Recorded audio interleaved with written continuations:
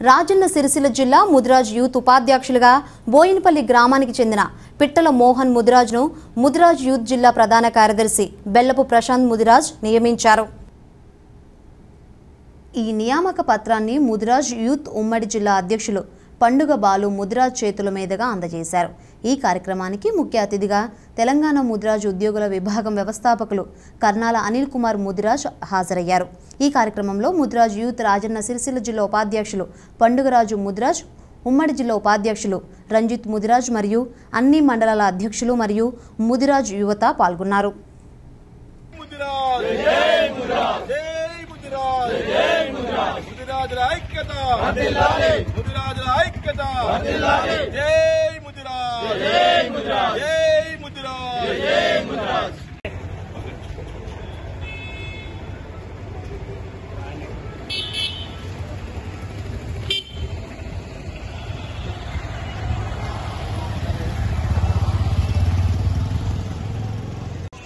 పండుగ బాలముద్రాజ్ కరీంనగర్ ఉమ్మడి జిల్లా యువత అధ్యక్షులు.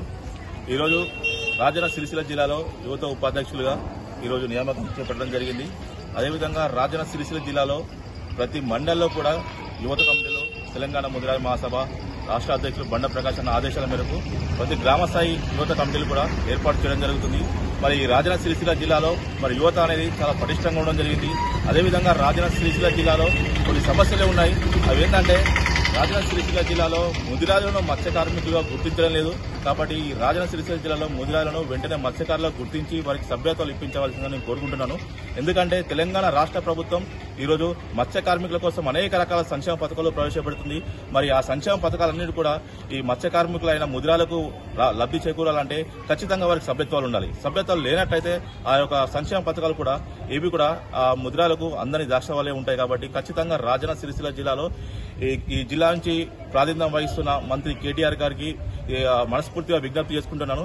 కేటీఆర్ గారు ఖచ్చితంగా మీరు రాజన్న సిరిసిల్ల జిల్లాలో ఈ ముదిరాల యొక్క పరిస్థితి అనేది మత్స్య కార్మికులు గుర్తించడం లేదు. ఖచ్చితంగా మీరు దీని మీద ఒక ప్రత్యేకమైన దృష్టి సారించి వెంటనే రాజన్న సిరిసిల్ల జిల్లాలో ముదిరాజులను మత్స్య కార్మికులుగా గుర్తించి వారికి వెంటనే సభ్యత్వాలు వచ్చే విధంగా చేయాలని కోరుకుంటున్నాను. మీరు ఖచ్చితంగా చేస్తారు. ఎందుకంటే మీరు ముదిరాజుల మీద మీకు నిజమైన ప్రేమ ఉంది. ఎందుకంటే కేసీఆర్ గారు కూడా తను పుట్టినప్పుడు తన యొక్క తల్లి పాలు రాకపోతే ముదిరా